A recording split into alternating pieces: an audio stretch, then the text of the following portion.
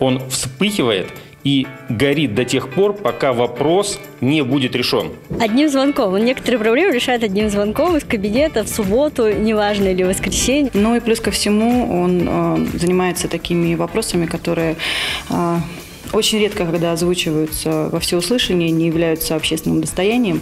Э, и для этого нужна очень серьезная деликатность и тишина. Он такой человек, который двигает вперед но именно своей позитивной энергетикой, улыбкой, добрым словом, ну и, конечно, медом с чаем. Добрый, отзывчивый, открытый. И это все о нем, о руководителе администрации губернатора Забайкальского края Марате Мирхайдарове. Так он же чиновник, возразите вы. Должность и статус позволяет решать задачи чужими руками. Нет, Марат Фатыхович не чиновник. В краевом правительстве он опробовал разные позиции. Возглавлял представительство в Москве, затем работал непосредственно в регионе, был советником губернатора. В марте нынешнего года Марат Мирхайдаров получил новое назначение, стал руководителем администрации губернатора. Как написал в социальных сетях сам Марат Фатыхович, для меня честь и ответственность работать в Забайкальском крае. Я думаю, что Марат Фатыхович в нашем солнечном крае не мог не появиться, потому что это тот человек, который излучает солнце, тепло, позитив, но история трудовой деятельности Марата Мирхайдарова началась, как можно догадаться, не в Чите. В детстве обычный мальчик из Башкоркостана мечтал выучить языки и стать по меньшей мере космонавтом. Отслужил два года в армии, а после уехал в Москву и поступил в университет. Он знает шесть языков. Э, Причем это языки э, ну, не одной какой-то группы, а это разброс там, я уж молчу там про английский, да, а это и, китка, и китайский, и фарси. Да-да, именно иностранные языки и привели Марата Фатыховича к государственной службе. После окончания университета, обзаведясь на тот момент ресторанным бизнесом, начинающий предприниматель решил рискнуть и отправил резюме председателю деловой России Борису Титову. А я уже на тот момент изучал китайский язык, а вот за, за спиной Бориса Юрьевича стояли грамоты на китайском языке, это поздравления. Я говорю, Борис Юрьевич, у вас там грамота. Я говорю, вот вас за это наградили, за это наградили. Он говорит, может, вы еще китайским владеете? В резюме читайте, там все написано. Ты уже перестал быть совсем юным человеком, ты облечен очень большими государственными обязанностями. А, я рад за тебя. А, поэтому я тебе буду говорить а, очень формально и выдержанно. Счастья тебе, здоровья и успехов тебе на работе. Будь, не скажу кем, но расти. Сегодня Марат Мирхайдаров признается, что Читу он любит не меньше, чем город своего детства Уфу или Москву. И все время подчеркивает «Мой дом там, где я живу и работаю. Сейчас мой дом Забайкалье». Марат Фатыхович вообще ворвался, мне кажется, в забайкальскую жизнь а, своей активностью, а, своей, своим неравнодушием. А, и, наверное, есть у меня одно определение такое к Марату Фатыховичу. Марат Фатыхович – это по любви. И вот то, что он сделал по поводу нашего бренда Забайкальского края, все это сердцем, по любви, вот так он относится ко всему этому процессу. Очень интересный и неравнодушный человек. Он воплощение вот этой забайкальской широкой души, которая готова помогать. Он готов помогать людям, независимо от их статуса, готов помогать их независимо от удаленности, от региональной столицы. Он очень поддерживает пожилых людей, поддерживает мамочек, детей. И нам очень нравится дружить с человеком, который очень схож с нами в миссии, в наших, наверное, взглядах на жизнь.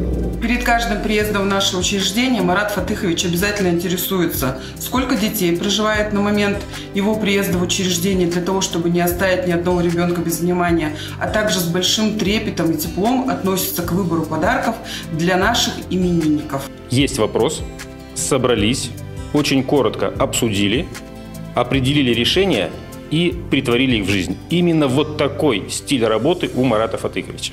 Рабочий кабинет для него как второй дом. В 7 утра он уже здесь, говорит, утренние часы магические. В это время можно спокойно разобрать почту, пока никто не отвлекает, вникнуть в проблему, осмысленно прочитать или написать письмо, а еще открыть священную книгу Коран и помолиться. Я давно знаю вас. Вы прекрасный друг, прекрасный брат, прекрасный мусульманин, прекрасный семьянин – и, конечно, прекрасный государственник. Упиваться властью и ничего не делать – это не про мир Хайдарова. Для того, чтобы в Забайкале навести порядок, решить застарелые проблемы, нужно работать, работать и работать. И с этим Марат Фатыхович полностью согласен. Так что 45 вам в помощь. С днем рождения! Добрый день, друзья! Сейчас у нас закончилось совещание в правительстве России, с Маратом Фатыховичем отстаивали вопросы восстановительных работ и возмещения ущерба, который у нас по результатам чрезвычайной ситуации с пожарами случился.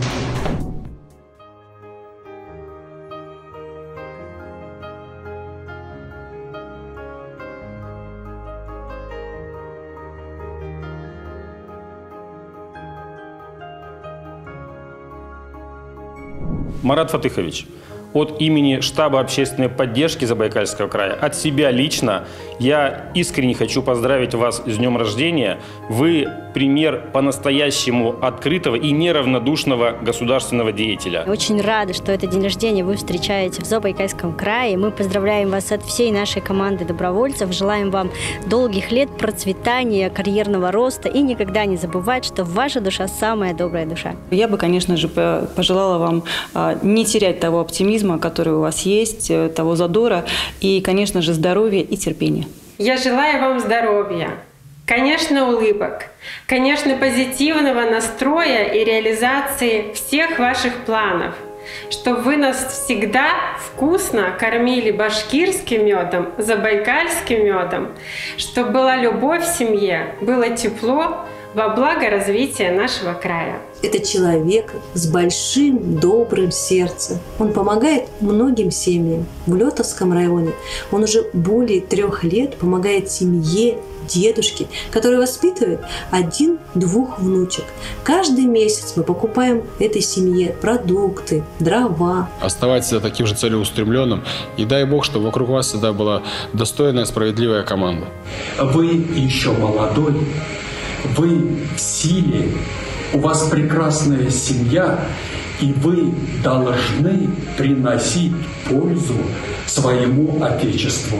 Я хотел бы в первую очередь поблагодарить ваших э, родителей, поскольку у меня твердо убежденность, что человек э, не только рождается в семье, но э, он формируется в семье, и все остальные его действия, они как раз вот из этой семьи исходят. Поэтому благодарность вашему отцу, вашей матери, э, вашему народу, в котором э, вы родились, связь с которым не теряете, поддерживаете, которым гордитесь. Спасибо вам за вашу неоценимую помощь, что вы нам оказываете. Находясь здесь, за лентой, в ДНР, это очень и очень ощущается наше большое расстояние нам не помеха делать наши добрые дела совместно. С первых дней нашего знакомства я поражаюсь твоих способностей, вот трудоспособности, твои желания чем-то помочь Забайкальскому краю. Ты настоящий патриот Забайкальского края. Я очень рад нашему знакомству и желаю тебе силы, терпения, чтобы сделать то, что ты задумал.